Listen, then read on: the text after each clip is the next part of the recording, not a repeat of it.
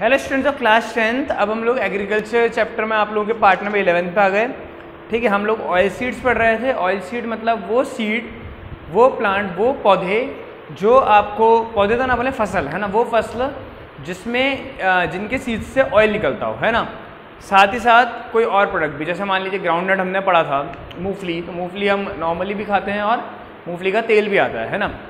ऐसे अगला है मस्टर्ड सेकेंड आप लोग हेडिंग डालेंगे। मस्टर्ड इसका फ़र्स्ट हम लोग लिख चुके थे, पढ़ चुके थे सेकंड मस्टर्ड मस्टर्ड मतलब सरसों, ठीक है? तो सरसों की फ़सल जो होती है, उसका, सरसों का तेल हम लोग यूज़ करते हैं, ठीक है? मस्टर्ड में आप लोग लिखेंगे mustard constitute 35 percent of the total oil seeds produce in India mustard constitute C O N S T I T U T E C O N S T I T U T mustard constitute 35 percent of the total oil seeds produce in India ये first point है. Second लिखेंगे Rajasthan is at the first place Rajasthan is at the first place in terms of production of mustard in terms of T E R M S terms of production of mustard अगर mustard की production की बात करें तो राजस्थान पहला स्थान रखता है अपना। Rajasthan is at the first place in terms of production of mustard फिर लिखेंगे Rajasthan is also grow sorry mustard is also grown in Uttar Pradesh Madhya Pradesh Gujarat Punjab and Haryana mustard is also grown in Uttar Pradesh Madhya Pradesh Gujarat Punjab and Haryana तो इन राजस्थान के अलावा, जहाँ पे बहुत अच्छी मात्रा में, यानी फोर्टी फोर्टी वन परसेंट आपकी मस्टर्ड मिलती है फ़र्स्ट प्लेस पे है राजस्थान।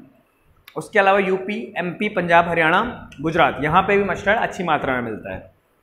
लास्ट पॉइंट इसमें लिखेंगे mustard is in in Rajasthan in Rajasthan mustard is grown in Alwar, Bharatpur, Hanumangarh, Ganganagar Sawai Madhopur Bhilwara, Jaipur and Bikaner. देखिए मेन क्या है? राजस्थान में इसका, ये राजस्थान फ़र्स्ट इसके प्रोडक्शन में मस्टर्ड में। अब राजस्थान की कौन कौन सी सिटीज़ है इसमें मस्टर्ड मिलता है? तो वो बात मैंने आप लोगों को इसमें बताई, ठीक है? Alwar, Bharatpur, Hanumangarh, Ganganagar, Sawai Madhopur, Bhilwara, Jaipur, Bikaner and sorry Jaipur and Bikaner. फिर लगभग ये मेन तो खत्म हो गए क्रॉप्स आपके ग्राउंडनट और मस्टर्ड अब थर्ड में आपको जो हेडिंग डालेंगे, उसमें लिखेंगे other oil seed crops page number 132 other oil seed crops यानी कि मस्टर्ड ग्राउंडनट तो मेन क्रॉप्स इसके अलावा, है ना? तो अदर ऑयल सीड क्रॉप्स लिखेंगे इसमें castor bean is use in lubricant soap and leather refining industries. Castor bean is used in lubricant, soap and leather refining industries. जो हम बात करते हैं अरंडी का तेल है ना? ऐसे उसको हिंदी उसका टर्म यूज़ होता है। वो है कैस्टर बीन और यूज़ का मतलब लुब्रिकेंट के तौर पे। मशीन्स वगैरह में या कहीं भी चमक देने के लिए।